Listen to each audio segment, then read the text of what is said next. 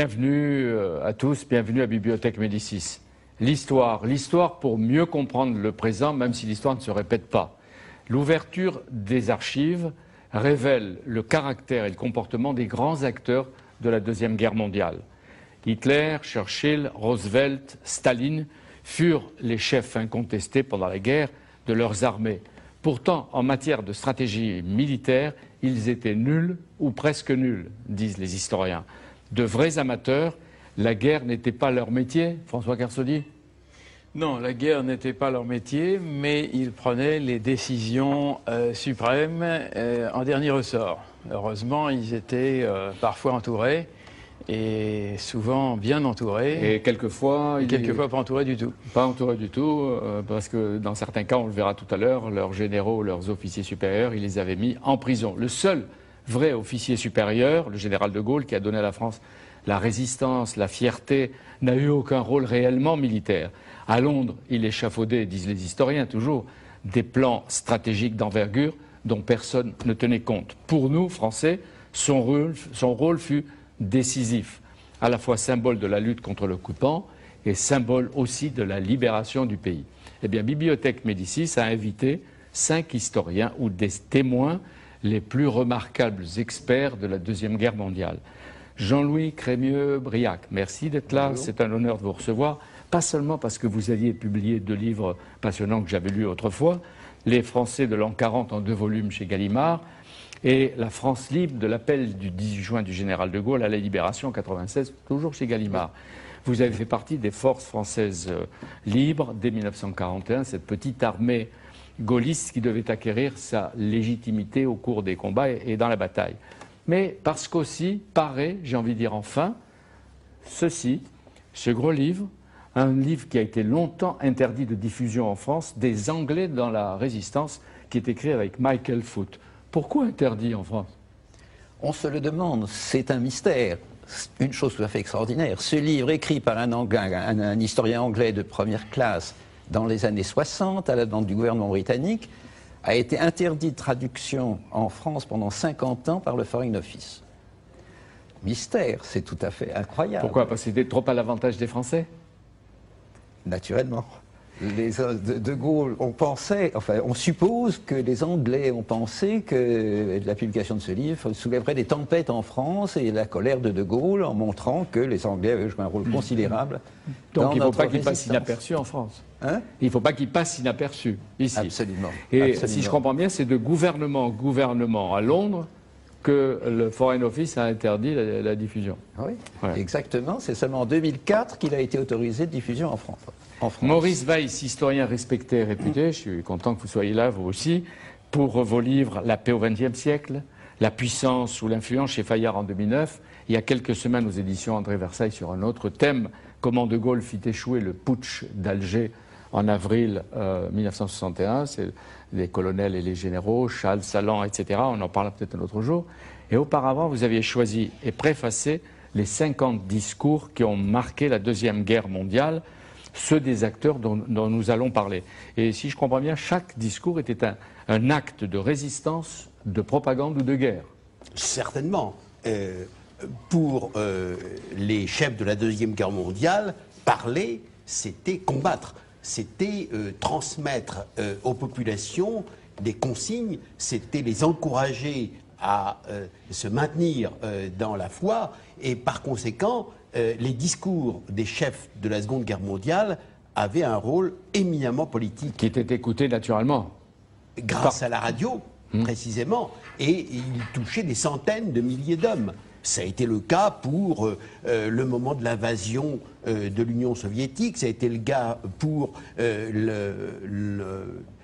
la conquête de la France libre, l'invasion et le débarquement. Par conséquent, il y a eu toute une série d'occasions où ces discours ont joué un rôle considérable. 50, il y en a eu beaucoup plus, hein, parce que si je me souviens de ce que vous disiez des textes de, de Churchill seulement, il y en a eu combien? 2500, 3785. vous voyez, Michel Cointet, vos livres font autorité sur De Gaulle et Giraud, l'affrontement, Pétain et les Français, sur l'occupation et sur Vichy. Que vous connaissez mieux que personne, et vous venez d'avoir accès, si je puis dire, aux dernières archives, je ne savais pas qu'il y en avait encore, qui étaient inconnues, sur la période. Est-ce qu'elles révèlent beaucoup oui, elles révéleront beaucoup, mais je pense qu'il est intéressant, c'est pas seulement la révélation que peut donner un document, parce que souvent, Bon, euh, c'est un scoop, bien entendu, mais il faut le rattacher à l'histoire générale française. Ça, je crois que c'est le rôle de l'historien. Et ce qui est assez extraordinaire, si vous voulez, c'est de voir ressurgir dans cette période euh, abominable de l'occupation tout un passé français. Et j'allais dire que Pétain, c'est aussi la contre-révolution, c'est 1815, 1820, c'est Bonald, c'est Taine, enfin, mm-hmm. c'est toute une histoire qui rejaillit. On en parlera. Le maréchal Pétain fut aussi un des grands chefs de 14-18 mais aussi l'homme de l'armistice de 40, de la collaboration, de la résignation. Un maréchal qui n'a pas combattu sur le front pour la Deuxième Guerre mondiale. Il était bien vieux quand même. Mais c'était lui qui était la tête de, l'État français. Jean Lopez, spécialiste de l'histoire de l'Union soviétique et de ses relations avec l'Allemagne du Troisième Reich, bienvenue.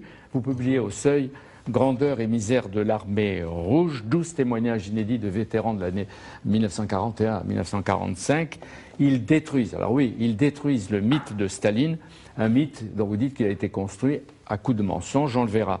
Staline, qui revêtait l'uniforme de maréchal, n'avait jamais pu entrer dans l'armée.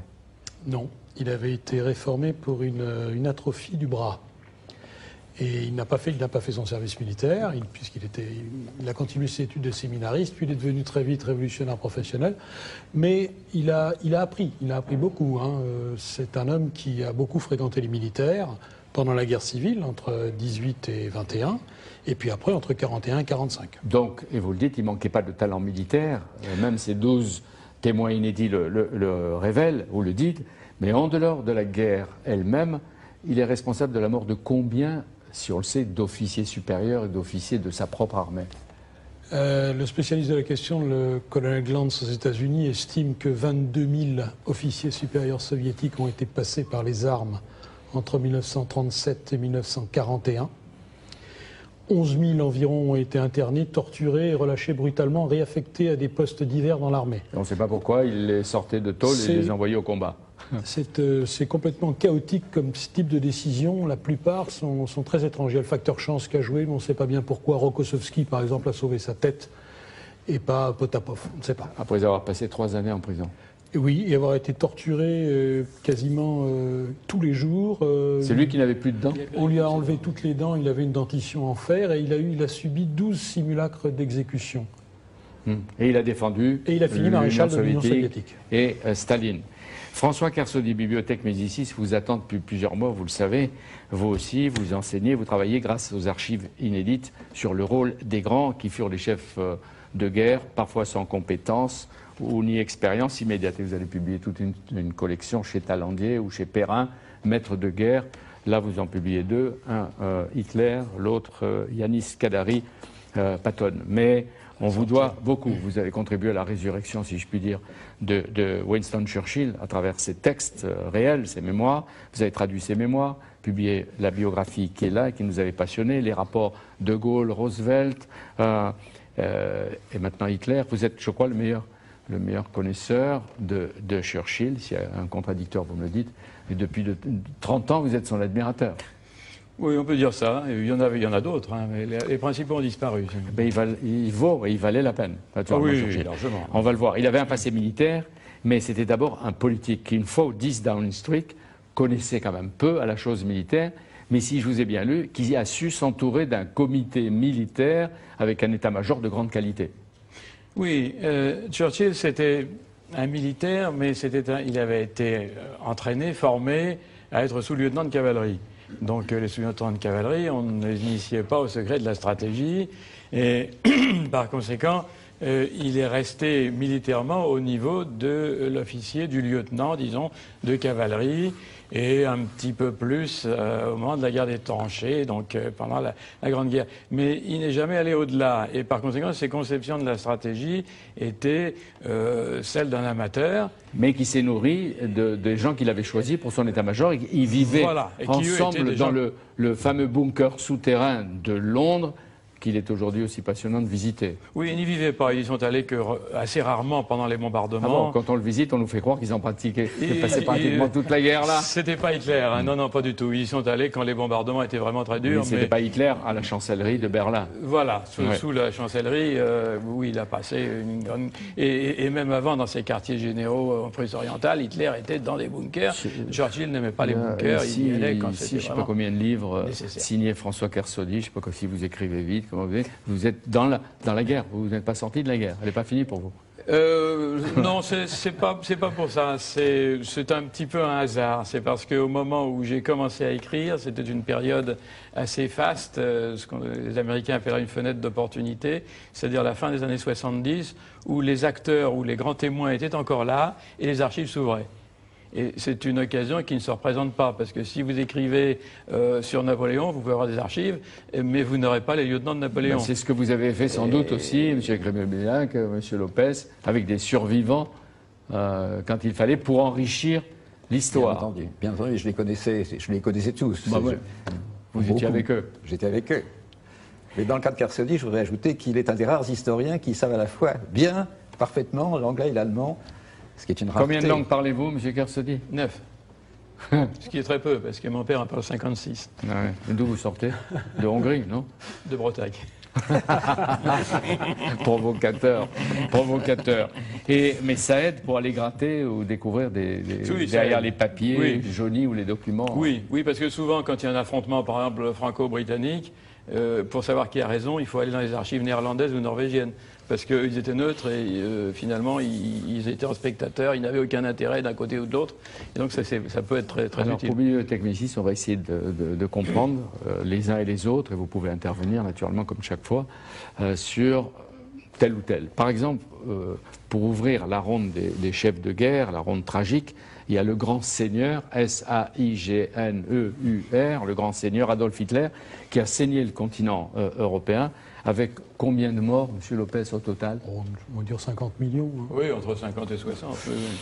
Et alors, euh, c'est ça, Monsieur Weiss Oui.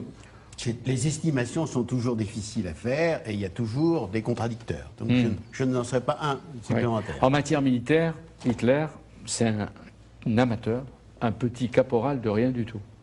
D'abord, Oui, et un caporal qui n'a même jamais commandé, parce qu'en en fait, c'était un messager, c'est une estafette pendant la Première Guerre mondiale. Donc, euh, euh, quand il a parlé de son génie stratégique qui vient de la Grande Guerre, on sourit un peu, parce que, en fait, euh, il avait ce qu'on appelle une perspective des tranchées. Euh, il n'a rien vu, il n'a pas fréquenté le commandement, il n'a jamais commandé ne serait-ce qu'un peloton au feu. Euh, et donc, euh, devenir le, le- le- le- le grand chef de- suprême de la Wehrmacht à- après ça, évidemment, ça surprend un petit peu. Euh, ouais, et il vivra pratiquement toute la guerre en, en- en méprisant pas mal de ses généraux Tous. Et, et en craignant qu'ils complotent contre lui. Absolument. Et en cela, il ressemble à Staline. Staline avait fait le ménage avant la guerre. Et il s'inquiète un peu de la montée de certains qui rabaissent de temps à autre. Il s'est suscité des concurrences entre ces- il y a des procès, des purges régulières Oui. de généraux soviétiques.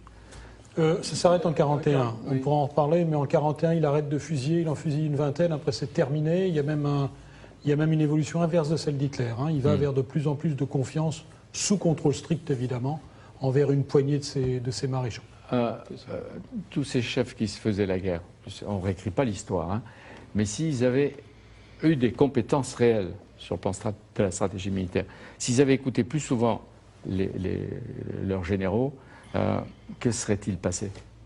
Ça dépend lesquels. Ça dépend lesquels. Euh, Hitler aurait été beaucoup plus redoutable s'il avait écouté ses généraux, parce qu'il en avait de très bons, euh, auxquels il ne laissait pratiquement aucune liberté. Dans le cas de Staline, effectivement, comme vous a dit, en gros jusqu'au au milieu de 42, euh, il a commencé à euh, au- jusqu'au milieu de 42, il, il- il a voulu imposer sa stratégie, c'est-à-dire qui consistait en fait à faire attaquer partout. Et en attaquant partout, moment, il ça a perçait nulle marché. part. Euh, bah, à un moment, ça ne marchait plus du tout. Et donc, Ouais. c'est là qu'il a commencé effectivement à faire confiance à, à des gens dont c'était le métier et qui étaient très bons, comme Zhukov, comme Vassilievski, euh, des gens comme ça qui, eux, connaissaient leur métier. Maurice Weiss professionnels. Oui, je- euh, euh, pour- en ce qui concerne Hitler, il y a certainement un moment où il a fait confiance volontairement à ses généraux euh, au point de vue de l'audace. C'est au moment de l'attaque de la France. le 10 mai 40. C'est, il est sûr qu'à ce moment-là, euh, il a euh, mis de côté un plan qui était préparé de longue date et il a préféré un plan tout à fait novateur qui a réussi de façon extraordinaire. Le 10 De mai façon- 40, il y a Voilà. 71 ans, presque jour pour jour. Euh, le réarmement accéléré de l'Allemagne, c'est Hitler. C'est Hitler. La modernisation du mi- matériel militaire de l'Allemagne, c'est Hitler. L'offensive contre la France, dont vient de parler Maurice Weiss, l'Autriche, la Pologne, la Tchécoslovaquie, c'est encore lui. Les généraux ne font qu'appliquer euh, ces décisions. Il n'a pas de conseiller au début. Il n'a jamais, il jamais eu de conseiller. Il y avait von Manstein, qu'il il a, il a trouvé que son plan était bon. Euh, pour le reste, euh, toutes ces décisions stratégiques venaient euh, tout armées de son cerveau. Et même si ses généraux n'étaient pas d'accord, euh, il devait appliquer. C'était comme ça. Si je peux me permettre, euh, euh, précisément, le, le- le- le fait un- important dans cette histoire-là, c'est qu'il réussit.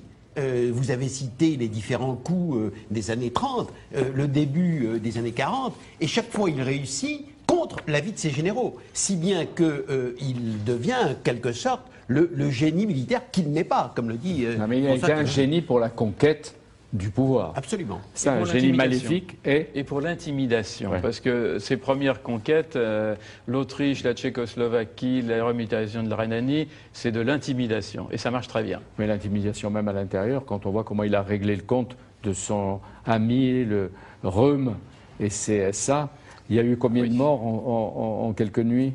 La nuit des longs couteaux, combien? Oh, ça, ça va entre 200 et 250 à peu près, euh, sans compter les victimes collatérales. Euh, donc, euh, bon. euh, euh, oh, Si vous permettez, ce 100 à 200 morts pour une purge, c'est une plaisanterie à côté de celle Oui, que Staline celle de lui Staline. opérera au sein de son propre peuple. Je voudrais juste apporter, à propos des rapports entre Hitler et ses généraux, un petit bémol. Opposer un Hitler dilettante et stupide stratégiquement Pas à des généraux ni géniaux stupide. et omniscients, je trouve que c'est facile parce que tous ces généraux se sont déchargés de leurs erreurs après-guerre sur Hitler. En réalité, une analyse assez saine, qui a une réappréciation qui intervient depuis une vingtaine d'années, montre que même Manstein ont multiplié les erreurs et n'avaient pas la tête militaire aussi bien faite qu'on a voulu le dire.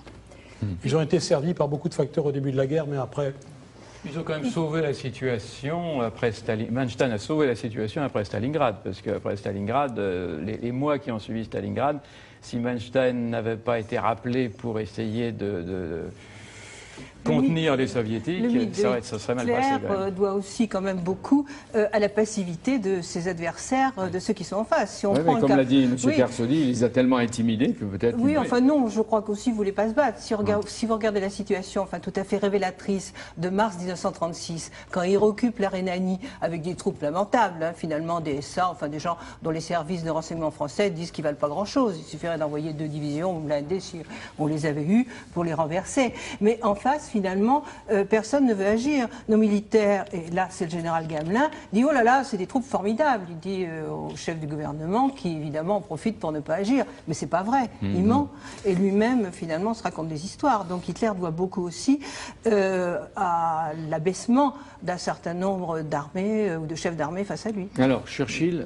Churchill euh, dit dans les mémoires qu'il n'a pas de préjugés d'ordre national contre Hitler. Je connaissais mal sa doctrine et sa carrière, pas du tout son caractère, et puis j'admire les hommes qui prennent la défense de leur pays dans la défaite, même si je suis de leur bord.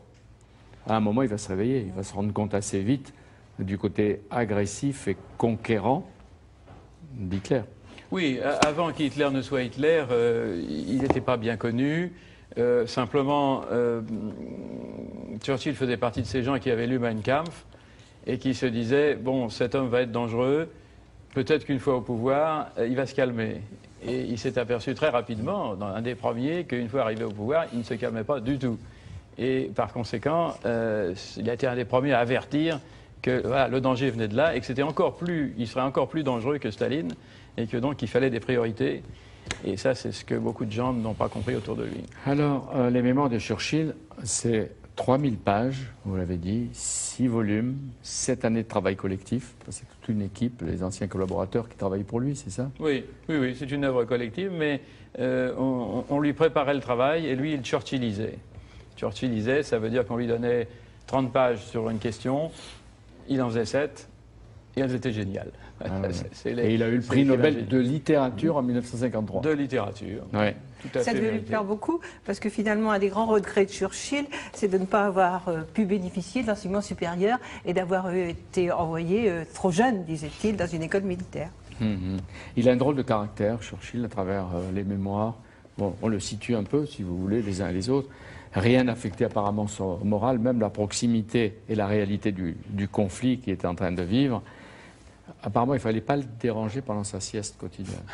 Oui, Churchill, c'est un phénomène. C'est un phénomène. Décrivez-le, égards. François C'est un phénomène parce que, pour, pour une demi-douzaine de raisons, d'abord, comme d'ailleurs euh, la plupart des gens dont on va parler, euh, au plus haut niveau, il a une mémoire euh, qui fait l'ahurissement de, de- de- de tout son entourage. Une mémoire fantastique. Il a une volonté incroyable. Euh, il a toujours eu trois vocations à la fois la politique, le métier des armes et l'écriture. Euh, le discours étant un prolongement de l'écriture. Et souvent, il a vécu de sa plume. il a, oh oui, il a, il a vécu, il n'a vécu pratiquement que de sa plume d'ailleurs, Mm. le, le reste n'étant pas rémunérateur. Et, et c'était quelqu'un qui euh, dictait ses livres et qui écrivait ses discours.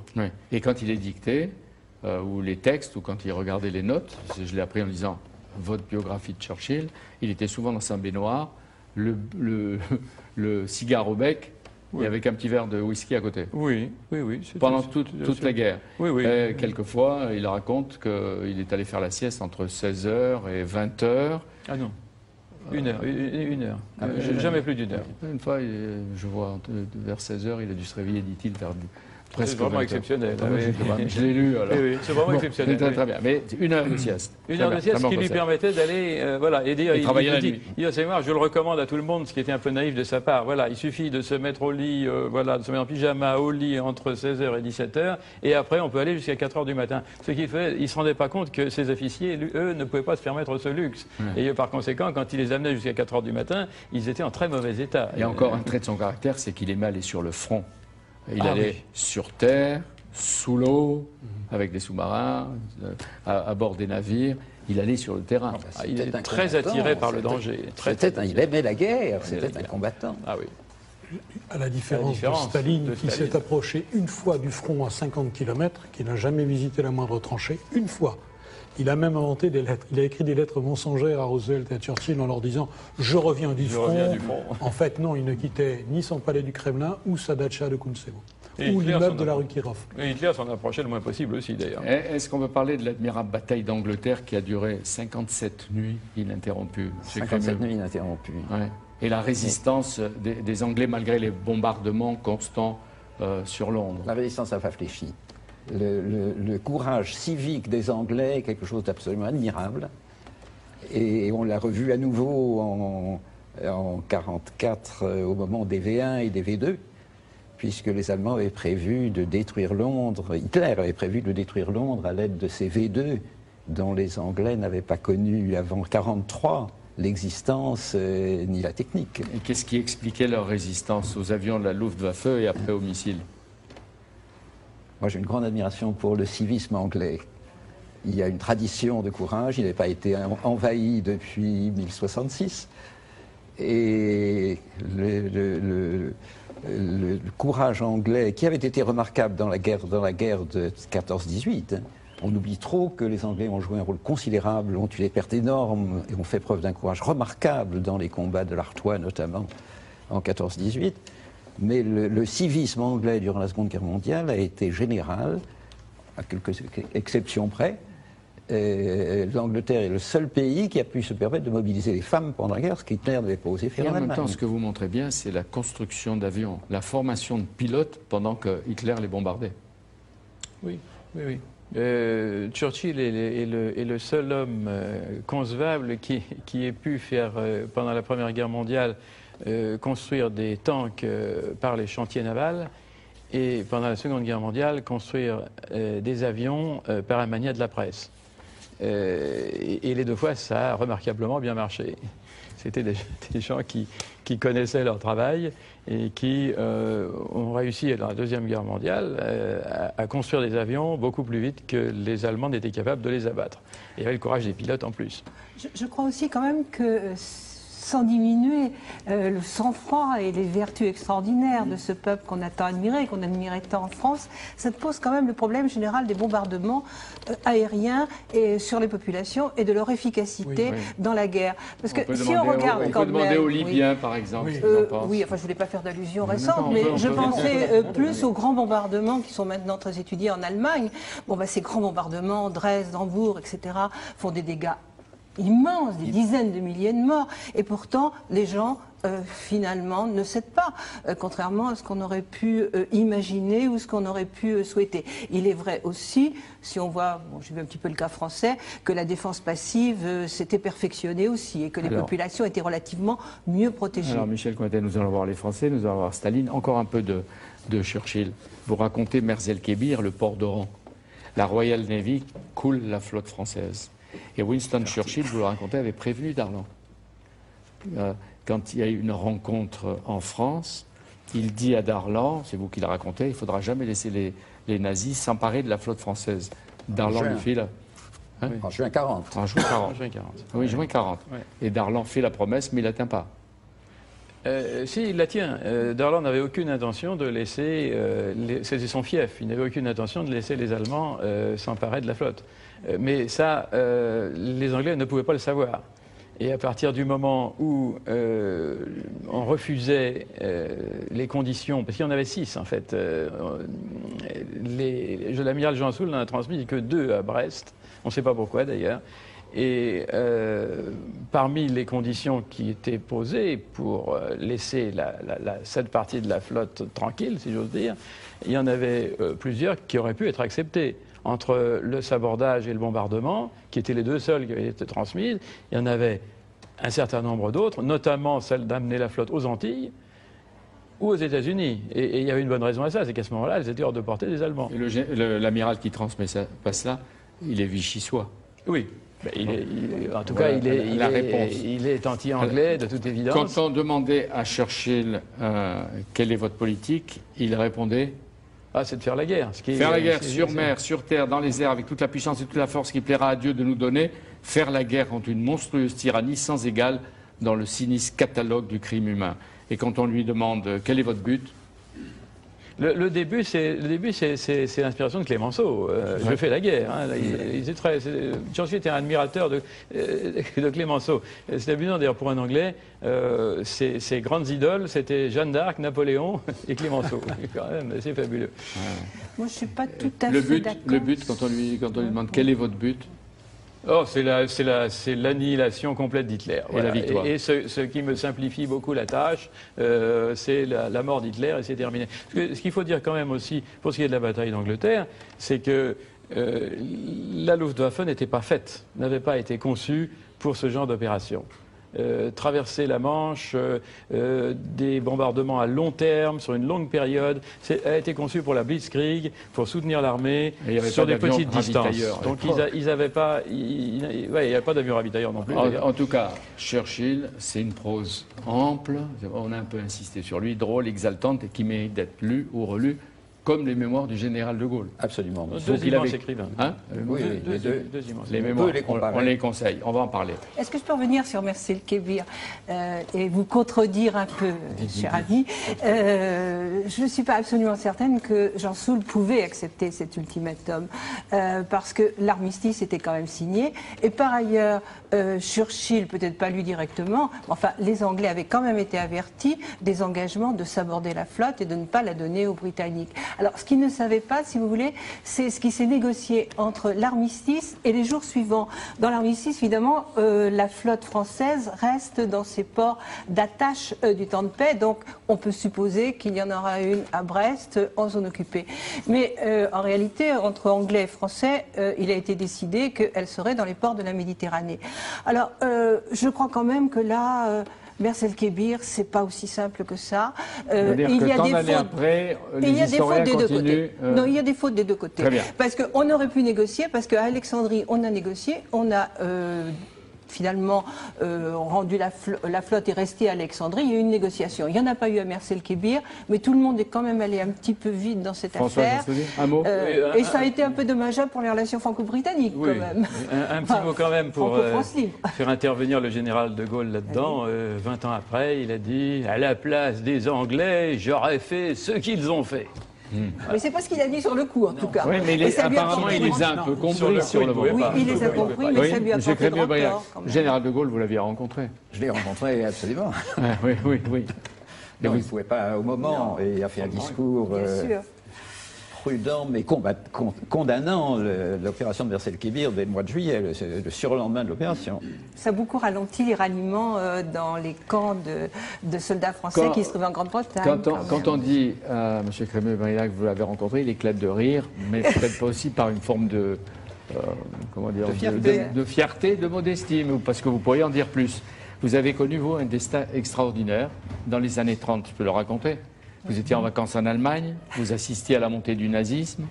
C'était une atmosphère comment? Enflammée, électrique De combat, de combat intérieur, d'une pauvreté avant, enfin jusqu'à 31, 32, 33. Une pauvreté qu'on n'imagine pas. 6 millions de chômeurs, les, des gens sonnant aux portes toute la journée pour demander une pièce, une tartine de pain on n'imagine pas ce qu'a été le, drame de Donc Hitler vient les sauver. Hitler vient les sauver, c'est ça. Et alors j'ai vu tous mes petits copains, les petits copains que je m'étais fait en Allemagne, euh, qui étaient socialistes à l'époque, les uns après les autres entrer aux jeunesses hitlériennes, quelquefois à l'insu de leurs parents. Hmm. Mais le prestige, le prestige. Euh, euh, l'entraînement était quelque chose qu'on ne peut pas. les manifestations, les foules, les grands défilés de Nuremberg, etc. Exactement. exactement. Alors, en 39, et puis, une forme de prospérité, puis la disparition du chômage. les grands travaux qui les font tous euh, travailler. Mobilisé en 39, vous êtes prisonnier dans la Marne, vous êtes envoyé en Allemagne, cette fois pas en vacances. Non, non, non. combien de temps Qu'est-ce que, vous faites ouais, Qu'est-ce que vous faites pendant combien de temps Je suis resté six mois et je me suis, si j'ose dire, barré. Ouais en choisissant l'Est, c'est-à-dire... Le, premier coup était réussi Le premier coup était réussi. Plusieurs tentatives d'évasion non, non, non, le premier coup était réussi, une chance, une chance. au jour de l'an 41, donc, je me suis évadé vers l'Union soviétique, qui n'était qu'à 425 km de mon camp. Vous alliez, vous alliez rejoindre comment? Pas à pied comme ah, par tous les moyens. chemin de fer. Oui, oui. Non, mais le, passage de la frontière, naturellement, dans la neige, les barbelés, les chiens, enfin tout, le, tout ce qu'on lit dans les romans de, de ce Il raconte son aventure avec des sourires, hein, comme si c'était facile. Vous avez quel âge à l'époque 22 ans. Et vous étiez accompagné d'autres Français Avec un copain. un copain, un seul Oui. Ah, parce que, euh, oui. Et puis ensuite, alors l'Union soviétique, euh, c'est. Comment vous accueille en Union soviétique Ça a été immédiatement l'arrestation, l'antichambre du goulag, euh, inculpation de passage illégal de la frontière et suspicion d'espionnage, donc euh, pris dans, pris dans le, flot de l'épuration de la, Lituanie, euh, l'énorme euh, épuration de la Lituanie accompagnée d'exécutions et de déportations, les trains cellulaires ensuite, les prisons de Moscou, et, tout cela avec à la fois l'incertitude et puis une espèce de, de l'allégresse de la jeunesse tout de même. Des, peurs quelquefois. Des peurs quelquefois, oui, ça il y a eu des peurs euh, Alors, sérieuses, notamment, notamment quand, quand, quand j'ai été enfermé dans un, dans un cabinet noir de la prison Loubianca, et puis, et puis euh, une grève de la faim. J'ai mené une grève de la faim à la prison Boutirki qui a été brisée durement on, nous a, on a commencé à nous nourrir par le nez. Euh, hmm. Alors vous, serez libéré quand la France libre deviendra l'allié du Kremlin, et avec 185 autres prisonniers, vous avez rejoint Londres et le général de Gaulle. Et là, on ne vous a pas enfermé, on n'a pas dit, ils sont peut-être des espions qui venaient de Moscou. Non, non on ne sait jamais. C'est arrivé tellement d'autres. Hein oui, oui, oui. Et alors l'arrivée, l'arrivée de 186 évadés français au moment où De Gaulle est en pleine crise avec Churchill, euh, euh, c'était un atout pour De Gaulle qui a été exploité naturellement. Mmh. L'arrivée a été un petit événement médiatisé. En tout cas, les, souvenirs inouïs de cette période euh, euh, restent vivants, on le voit. Puis, vous saviez ça, même, Cointet? J'avais lu Catala et puis euh, de temps en temps euh, quelques confidences. Mais vous en étiez avare autrefois. Maintenant, Ouais. vous en donnez beaucoup plus. Oui, mais- Et nous en attendons encore. Non, non, mais bien sûr, mais il faut aller le chercher. Vous, Ah voyez vrai. Faut se Et alors j'ai vu, puisque donc on va parler de la- de l'armée rouge, à travers les, les- les barbelés ou les, les- le train cellulaire qui nous baladait, euh, j'ai vu les soldats rouges monter vers le front, j'ai entendu le discours de Staline du, 4 ju- du 3 juillet. euh, j'ai été, je me trouve avoir été témoin aussi le de 3 ces juillet débuts de la 41, guerre. c'est la grande guerre patriotique. C'est Ouais. le C'est- mythe de la c'est grande guerre. l'invention que vous de la grande guerre patriotique. Hmm. Le mot, le mot existait déjà à l'époque de l'invasion de la Russie par Napoléon. Il a ajouté l'adjectif grand devant et il a fait un discours euh, dont tous les témoins se souviennent avec une grande émotion dans le moindre détail. Alors, on l'a dit tout à l'heure, Jean Lopez, euh, Staline, les généraux, il les traîne par vagues successives euh, devant les tribunaux, il les emprisonne, il les torture, il les fusille parfois. Oui, 22 000. Et, et quelquefois, quand à, à partir de Stalingrad, donc en- on est en 42, là, Oui. il, il- il prend conscience qu'il en a besoin. Oui, allez, euh, cette année de le grand tournant, c'est juillet 42, où il, se rend- il- il commence à accepter l'idée que ces généraux doivent, sont en train d'apprendre, ils sont en phase d'apprentissage, ils vont apprendre de leur ennemi, et ils vont aussi mettre en valeur un certain nombre de choses qui sont propres à la pensée militaire soviétique. Attention, tout ça sous un contrôle d'une férocité absolue. Hmm. Mais il va commencer à faire confiance à une petite euh, équipe autour de Vassilevski, Antonov, euh, Zhukov. Euh, ces gens-là vont peu à peu avoir le droit de le contredire dans les formes, bien entendu. Puis il y a quelque chose qui ne trompe pas, c'est en plein milieu de la bataille de Stalingrad, le 9 octobre 42, il lève le contrôle par les commissaires politiques. Car jusque-là, chaque officier supérieur de l'armée rouge était contrôlé strictement par un commissaire politique qui devrait contresigner tous ses ordres. Le 9 octobre, ces commissaires politiques sont renvoyés à des tâches de pure propagande et n'interviennent plus dans les opérations. Donc le meilleur moyen de sauver sa peau, si on était encore vivant en 100 ans, c'est d'aller combattre sur le front et éventuellement de survivre. oui, euh, Ou de survivre, gagner des vies, de, de gagner. survivre, ce qui était vraiment le, difficile dans l'armée rouge de 41 et 42, où les pertes sont les plus importantes qu'aucune armée dans aucune histoire ait jamais essuyées.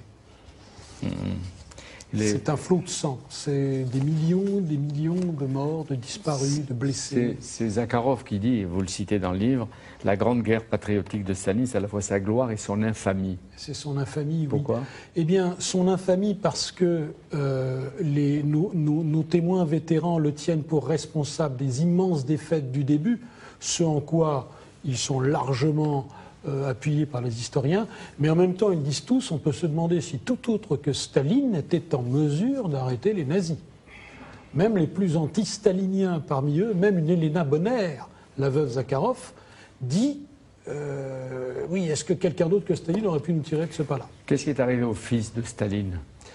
Il avait deux fils euh, qui venaient de, sourit, deux, c'est qu'il de sait. deux femmes, de deux femmes différentes. Son fils aîné, donc de sa première femme géorgienne, Yakov, qui était lieutenant d'artillerie, est fait prisonnier à l'est de Minsk en juillet 41. Il est arrêté.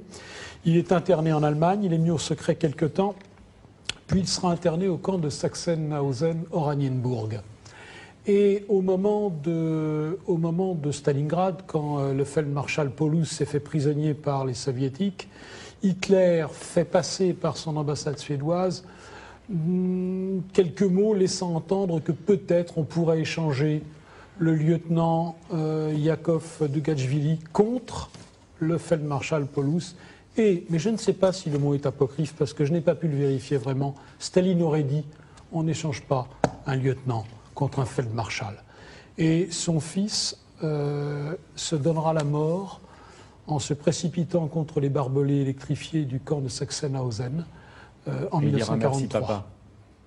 Et Hitler Ah. tiendra cette mort secrète jusqu'à la fin par crainte de représailles contre les prisonniers allemands dans l'Union soviétique. Euh, dans les discours que vous avez analysés, choisis, M. Weiss, est-ce qu'il y en a de la force de certains d'Hitler ou euh, certains de Staline chez Roosevelt? Oui, bien sûr.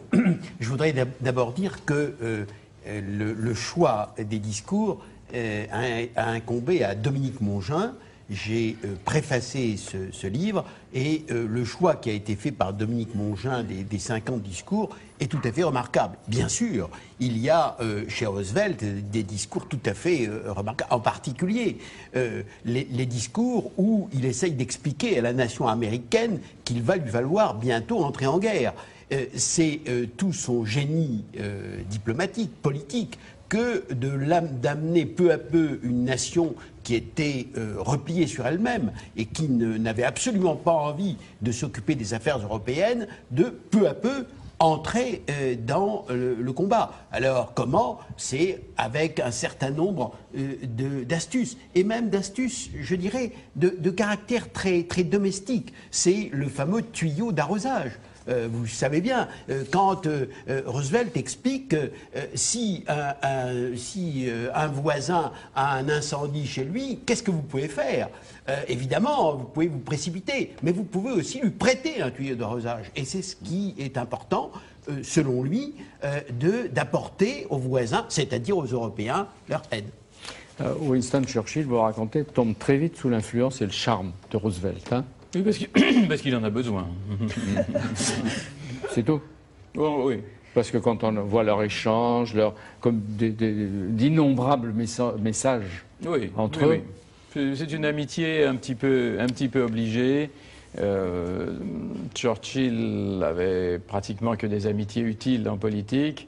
Et Roosevelt avait un certain mépris pour Churchill, qu'il considérait comme un animal antédiluvien, mais dont il admirait néanmoins l'énergie.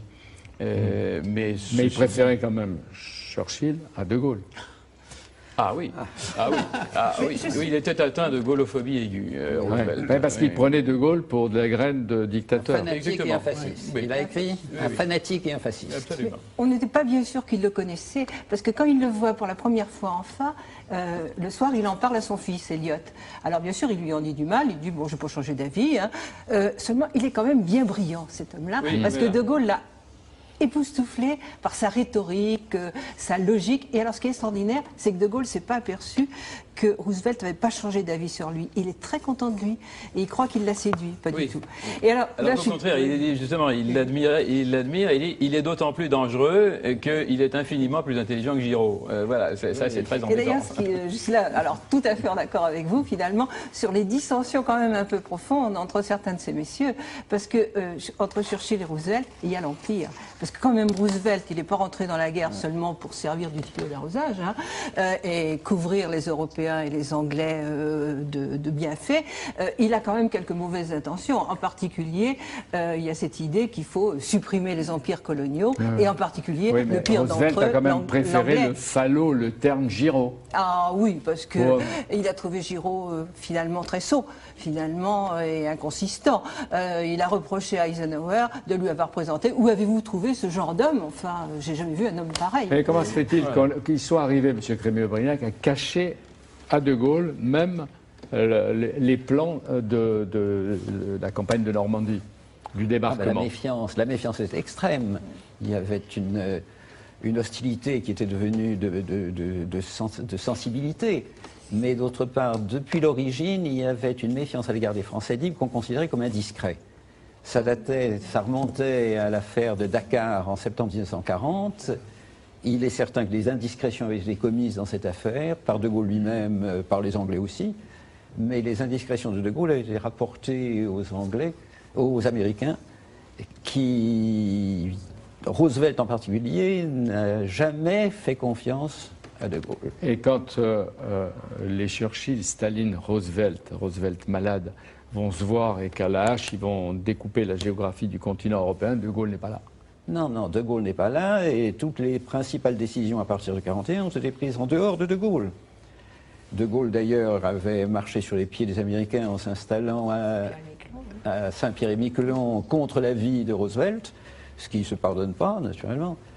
C'est-à-dire que toutes les opérations ultérieures, notamment le débarquement en Afrique du Nord, à l'insu de De Gaulle. De Gaulle n'a pas su. De Gaulle, Roosevelt, le duel au sommet, François Kersaudy, Churchill contre Hitler, François Kersaudy, la victoire fatale en Norvège 1940. Euh, quelles sont les, premières phrases de, Churchill sur De Gaulle quand il le voit, quand il voit le colonel au cours de ses voyages en France, que raconte d'ailleurs bien Roland de Margerie? Alors, euh, il est très impressionné par De Gaulle. C'est le seul qui ne panique pas. Euh, c'est le seul qui reste flegmatique, qui ressemble plus aux Anglais, il faut le dire. Il ne s'affole pas et Churchill certifie euh, que et il aurait dit ce qui n'est pas tellement étonnant d'ailleurs. Le, le- le 13 juin, en se plantant devant De Gaulle, il lui aurait dit euh, l'homme du destin. Et Churchill avait comme ça des intuitions foudroyantes. Et pourquoi l'homme du destin? Parce qu'il avait besoin d'un homme du destin en France. Et mais quand il dit besoin le connétable de France, le connétable de France, c'est pareil. il avait impressionné et voilà, il y avait l'intuition que c'était. Alors, on a demandé après à De Gaulle si- s'il avait entendu cette phrase prophétique. Bon, c'était dans un couloir très encombré où il y avait beaucoup de monde qui paniquait.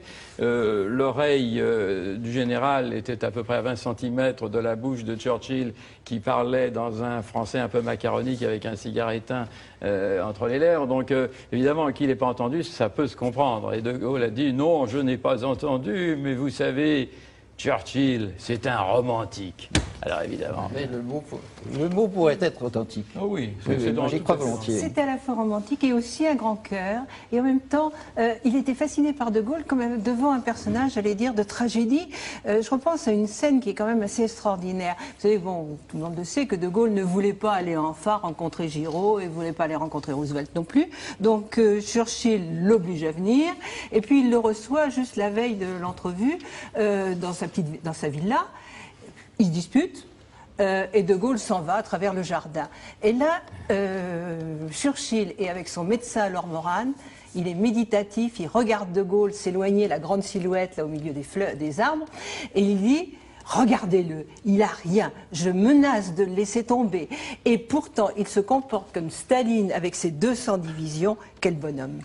vous en parlez comme si vous y étiez, vous. hein Ah, mais j'y suis, moi, dans Ouais, cette oui. époque. Euh, vous citez Kersodicite en 43, une phrase de, de Churchill. Je comprenais, j'admirais le comportement arrogant du général de Gaulle, même si j'en éprouvais du ressentiment. C'est un réfugié, un exilé, condamné à mort pour son pays, entièrement tributaire de la bonne volonté du gouvernement britannique.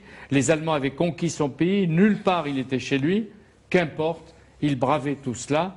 On disait pour s'en moquer qu'il se prenait pour l'incarnation vivante de Jeanne d'Arc. Je trouvais cela moins absurde qu'il y paraissait. Un bel hommage. Oui, oui. Alors, il a, à certains moments, il a, il a dit qu'il fallait expédier De Gaulle à la tour de Londres. Hmm. C'était des coups de colère. Mais à côté de ça, il a dit quelle magnitude en parlant Ouais. de Gaulle. Et c'est un grand animal, ce que De Gaulle aurait sans doute mal pris, mais quand on connaît l'admiration de Churchill pour les animaux, c'était un immense compliment. Ah oui. Un grand animal. Et à la fin, euh, quand De Gaulle était au pouvoir, après les années 58, etc., il, a- il avait reçu euh, Churchill à Paris et il l'avait traité magnifiquement. hein. Absolument. Il a décoré, décoré, comme compagnon de la libération. C'est pas, pas rien. Il n'y a pas beaucoup d'étrangers qui ont été faits compagnons de la libération. Et avec des propos extrêmement élogieux, c'est un grand homme dans une grande entreprise, d'une grande tragédie. Oui, oui. Ah oui, le passage. l'historien s'aperçoit aussi que Churchill a été pour lui un professeur, un maître d'école. Il lui a appris la propagande, la bonne propagande. Euh, il Il lui a doué, appris. Euh, doué, il doué, était à très doué, il l'a senti. Oui, oui. Alors au mais sommet, il a beaucoup appris. il va nous rester peu de temps, mais on, on reviendra sur. Oui, allez-y un mot. Un, un des couples maudits qu'on n'a pas évoqué, et qui sont liés par une véritable admiration au milieu de la haine, c'est c'est Staline et Hitler. Vous lisez le journal de Goebbels. Goebbels rapporte des propos incroyablement élogieux d'Hitler face à Staline. Et le seul homme en qui Staline n'ait jamais fait confiance dans toute sa vie, lui, le grand parano- paranoïaque, c'est Adolf Hitler en 1941. Il a cru à son alliance. Ouais, ouais, le pacte germano-soviétique qui a fait tellement de dégâts, y C'est la compris complicité en des France. totalitaires. hein. À l'actif, à l'actif de Churchill, je voudrais rappeler qu'il a été le créateur d'un service secret qui s'appelait le SOI, Service des opérations spéciales, en marge de l'intelligence service, qui a joué un rôle considérable dans l'action subversive dans toute l'Europe. Un mot. Il y a les décideurs au sommet, et il y a les vrais généraux, ceux qui sont sur le front. Euh, pour Hitler, on va aller vite, mais on va en citer quelques-uns. Pour Hitler, c'est Rommel.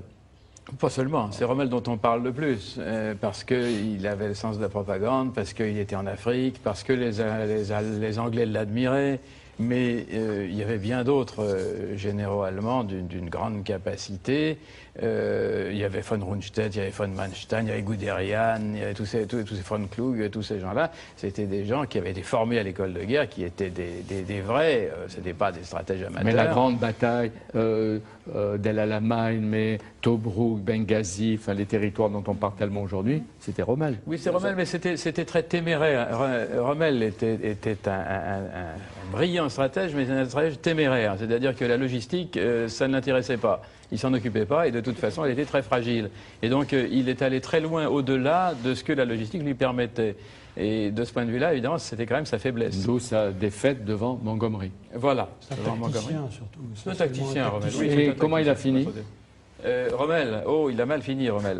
il a mal fini parce Mais que. dans, relation- dans une forme de grandeur, parce qu'il Oh, s'est euh, opposé à Hitler. Non, il sait justement, c'est ça qui est curieux, et maintenant on le sait, il ne s'est pas opposé à Hitler. Euh, il n'a pas voulu faire partie du complot contre Hitler. En 44. Il n'a rien voulu savoir, mais il a couvert ceux dont il savait qu'ils y étaient mêlés, c'est tout. Euh, mais comme euh, Hitler était aussi paranoïaque que Staline, il a soupçonné que Rommel en faisait partie, ce qui n'était pas le cas. Staline, une biographie, Joseph Radzinski, aux éditions du Cherche Midi. Euh, et les généraux américains, Monsieur Weiss? Il y a en particulier Eisenhower. Alors, Eisenhower, c'est le type euh, du général manager. Parce qu'au fond, il y, a, il y a deux types de généraux. Il y a les combattants, on vient de parler de Rommel, il y a les guerriers qui se portent en avant, euh, qui n'hésitent pas au moment de euh, la, de la bataille de se mettre en avant euh, des, par rapport aux combattants. Et puis il y a les managers, c'est-à-dire ceux qui organisent, ceux qui sont les génies de la logistique, d'autant plus que cette guerre est une guerre mondiale avec euh, des dizaines de milliers de- d'hommes et de, de combattants et qu'il faut organiser tout cela. Eisenhower, de ce point de vue-là, est un génie de la logistique et de l'organisation. Alors, Marshall, faut pas l'oublier. Autre génie de la logistique et de l'organisation, Marshall. C'est- Patton. Ils, ils avaient les meilleurs. Ah, c'est le combattant, toujours en c'est le avant. combattant sur le terrain. Avec un caractère. euh, Avec un, un beau portrait. Euh, MacArthur, ce sont des hommes qui, qui se portent en avant euh, et qui, qui veulent faire le coup de feu. Et puis vous avez des grands stratèges dont on parle très peu, l'amiral Nimitz. L'amiral D'origine allemande, grand- celui-là, non Ah oui, d'origine allemande. D'ailleurs, euh, vous avez Eisenhower 8 ou aussi. 9 parmi, les, les- parmi les, les- les- les grands généraux et amiraux euh, américains, vous avez des quantités d'Allemands. Eisenhower, l'homme qui, l'homme qui bat le fer, hein, euh, c'est voilà, il était. Alors c'est très curieux parce que Nimitz euh, ne parlait pas anglais avant l'âge de 8 ans. Il parlait allemand, ce qui est quand même étonnant pour euh, voilà, un grand stratège américain. Et par contre, Eisenhower, euh, famille allemande quand même, il a failli échouer à West Point à cause de l'allemand. Il ne connaît pas bien l'allemand, comme ça s'appelle Eisenhower, c'est curieux. Mais vous en avez bien d'autres, vous avez Wedemeyer, vous avez Spaatz, vous avez tous, tous ces grands généraux euh, américains, c'est c'est d'origine allemande. Ce qui est quand Alors, même ce qui est amusant, c'est que ces généraux américains ont quand même beaucoup d'idées politiques euh, sur l'organisation de l'Europe et future. certains hein. auront des Patton, destins politiques un peu Marshall, Ou mais euh, Eisenhower Eisenhower. Et le général de Gaulle va finir par donner l'impression aux Français qu'ils ont tous été des résistants, hein, des grands combattants. Et vous savez à quel point, M. Crémieux-Briac, vous qui étiez là, qu'ils étaient plutôt minoritaires, et que beaucoup s'étaient accommodés de la présence allemande déjà dans Paris. Il y a Oui, un mais très- en même temps, on sait mieux maintenant que l'esprit anti-allemand a été beaucoup plus précoce qu'on ne le dit. Ils sont attentistes, oui, moi, se, sont, peu se engagés. j'ai- regardé tous les rapports des préfets de Vichy. Donc, en général, un préfet, ça veut faire plaisir à son gouvernement, finalement. Eh bien, tous, quand même, euh, pratiquement, disent que les gens sont à l'écoute de la radio de Londres, même si euh, ils ne la croient pas entièrement, et que à partir de novembre, enfin, à partir après le débarquement en Afrique du Nord, euh, ils basculent. Oui. L'administration en partie bascule, euh, Les affaires étrangères, Les mais euh, Ouais. les Mais gens qu'est-ce qu'il y a eu gardent comme, un certain sentiment. Qu'est-ce qu'il y a eu comme Oui. comportement, Ils gardent comme quand même dans lâcheté, leur etc. cœur un Tout- sentiment patriotique. Oui, oui. Alors ça va pas beaucoup plus loin. hein. Oui, oui. Euh, Toute la une génération fleur. de jeunes historiens aujourd'hui qui découvrent ce qu'était l'administration, la préfecture de police, la, la justice, etc. Et Mais Patrick Buisson a très bien raconté les manifester ce qu'ils ce qu'ils pensaient, si vous voulez, au fond d'eux-mêmes. Alors d'ailleurs, on voit qu'il y a des différences régionales. Moi, je ne sais pas, une des choses qui me frappe quand je regarde les actualités au moment de la libération, enfin euh, qu'elles- telles qu'elles ont été tournées par les Américains, vous avez quand même un gros contraste entre la Normandie et la région parisienne. Dans la région parisienne, c'est un enthousiasme délirant. En Normandie, euh, c'est beaucoup plus réservé. hein. Il y a des régions qui ont des sentiments un peu Mais- différents, mais dans l'ensemble, on est patriote. Ah, et puis deux régions, deux régions résistantes dès le début, le Nord-Pas-de-Calais et la Bretagne. Euh, Le Nord-Pas-de-Calais qui Je avait disais subi tout à l'heure que 14-18. Patrick Buisson, euh, historien, a parfaitement raconté les années d'occupation et les plaisirs parisiens de cette époque euh, peu en profiter, mais il y avait à la fois les, Ah, les salauds et les héros bien, qui se hein. côtoyaient. Et puis il y a les photos significatives que je recommande sur cette époque de Cécile Desprairies, qui est Ah venue oui, en- parler, je, je vous le recommande. Mais euh, tout ce que vous nous révélerez sur euh, la nouvelle histoire de Vichy, vous viendrez en parler sans doute ici. Et M. Crémeux-Brillac, à la rentrée, nous dira ce qu'était le combat intérieur. Est-ce qu'il y a des leçons à tirer à la fois de ce conflit et puis en même temps du fait euh, euh, de ce qu'étaient les chefs stratégiques qui n'étaient pas des militaires pendant la Deuxième Guerre mondiale? Alors, euh, on, peut, on peut donner la version de Churchill et la version de De Gaulle. Euh, euh, Churchill, dans un petit livre que Hitler aurait eu tout intérêt à lire et qui n'a probablement pas lu, d'ailleurs qui s'appelle Mes jeunes années, disait il faut jamais déclencher une guerre parce qu'après, on n'est plus maître de rien. Rien à la guerre ne se passe comme c'est prévu, sauf de temps en temps et par hasard. Et donc, il ne faut, il faut surtout pas déclencher ça parce qu'après, on perd toute maîtrise sur les événements. Euh, Hitler l'a pas lu, il a eu tort. Euh, pour ce Les la- leçons, parce qu'on découvre le rôle et l'effet euh, de la psychologie et des caractères. Bien sûr, qui se révèlent au, au feu de, euh, des événements. Pour Clémenceau, comme pour Churchill, euh, la guerre est une chose trop sérieuse pour être laissée aux militaires. Mais est-ce que pour autant il faut la donner seulement aux politiques qui ne connaissent rien à la Non, chose non, militaire Non plus. Il faut donc cet équilibre. Il faut bien cas. choisir ses militaires surtout. Est-ce qu'on peut tirer des leçons? Il y a des leçons, mais il y a aussi peut-être un certain nombre, on a évoqué des choses abominables euh, ou des choses héroïques, mais il y a peut-être un certain nombre de progrès qui viennent de cette guerre et qui viennent de l'horreur elle-même. Quand on découvre le génocide, bon, c'est quand même un traumatisme extraordinaire. Et là, je me souviens du cas Patton, qui est quand même un, un homme d'un cœur extraordinaire. Patton, ouvrant le premier camp de concentration qu'il a libéré, euh, est véritablement euh, bouleversé. Et il fait venir à ce moment-là le maire de la petite ville et sa femme. Et il leur fait visiter le camp de concentration. Et ce couple-là va se pendre dans la nuit. Tellement ils ont honte. Or, de cette horreur, on a tiré quand même quelque chose. C'est-à-dire, euh, qu'est-ce qu'il fallait faire de ces gens-là de ces responsables? Alors, à un moment, Roosevelt avait dit, il faut en fusiller 140 000, etc. Et puis on dit non. C'est la justice doit passer, et c'est Nuremberg. C'est quand même la tentative d'une justice C'est une bonne internationale. leçon pour des conflits d'aujourd'hui. Bah, Peut-être que ça donne l'idée qu'il y a une justice internationale à perfectionner. Et que peut-être un peu les peuples, M. Crémubliac, se débarrassent d'une manière ou d'une autre un jour avec de la résistance intérieure ou de la résistance des dingues qui les dirigent. Exactement, c'est ce qui. Et puis je dirais que moi, je donnerais encore une autre leçon. Et ça, c'est une leçon de professeur, nous le sommes pour un certain nombre d'entre nous. Euh, c'est que ces hommes ont été cela parce qu'ils ont eu une certaine éducation et une certaine culture. Le goût de l'héroïsme acquis dans leur jeunesse et acquis avec l'enseignement d'histoire. Je suis d'accord là-dessus. Et euh, la plupart de ces chefs de guerre ont connu l'ingratitude des peuples une fois le deuxième conflit mondial terminé. Churchill laisse, en tout cas dans ses mémoires, et vous le rappelez, François Kersaudy, quatre principes à méditer, et je crois qu'ils traversent les, les frontières et les années. Peut-être vous vous en souvenez. Dans la guerre, résolution. Dans la défaite, intransigeance. Dans la victoire, magnanimité. Dans la paix, bonne volonté. C'est pas mal.